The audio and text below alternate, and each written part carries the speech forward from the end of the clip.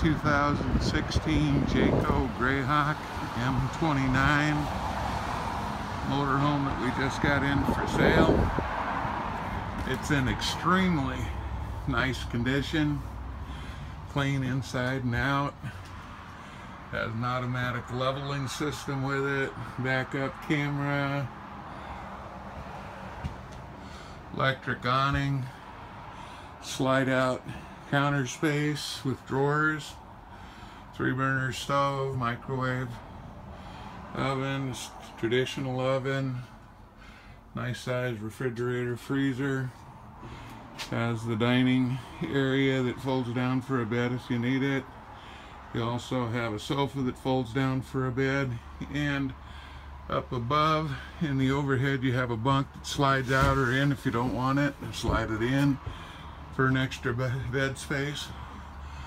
All kinds of extra uh, covered space in here. Nice glassed in shower area. Nice big pantry all the way up and down. Have a nice bedroom with a queen size bed. You have a slide out for the head gives you lots of walk around room. A whole lot of cupboard space and drawer space.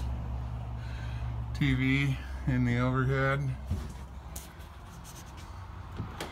The uh, toilet and sink are separate from the shower and there's privacy doors on both sides of the bathroom between the bedroom and bath.